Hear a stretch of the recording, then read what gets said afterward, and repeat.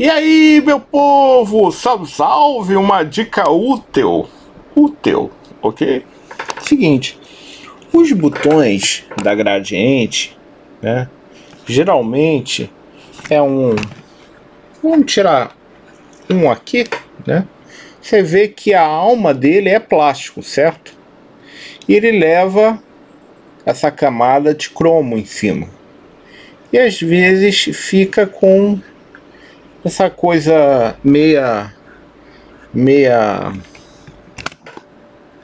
meia como se chama? Fica fica com zinabre com o tempo né? Você pega um, uma lixa 2000 né? E você vai passando levemente como quem não quer nada né? vai passando. Se tiver com água melhor ainda porque aumenta o poder te lixar. Né? Então você vai passando aqui, vai sempre dando uma verificada na superfície. Não é para forçar, você só vai passar com a mão leve, certo? Porque você quer tirar o zinabre, né? Ó, ó, já trouxe, ficou um espelho aqui. Então, é muito fácil, fica bonito, tá? Eu falo para as pessoas não usar massa tipo li, porque você não tem controle e acaba você danificando o botão.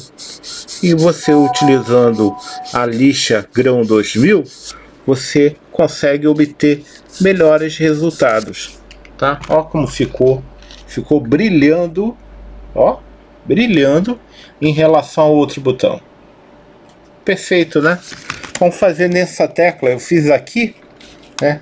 Essa daqui tá meio opaca, porque ela ali tá cheio de zinado. Aí você vai passando, ó. Como você você não precisa fazer tanta força. Você pode fazer até num lugar. Isso daqui é só para você é, tirar na parte abrasiva da própria lixa, você tirar só o usinado da própria tecla. Às vezes pode demorar, mas nunca perca a calma. Vai ficar passando para um lado para o outro, esfregando. Ó, já está começando a pegar brilho. Ok, meus amigos?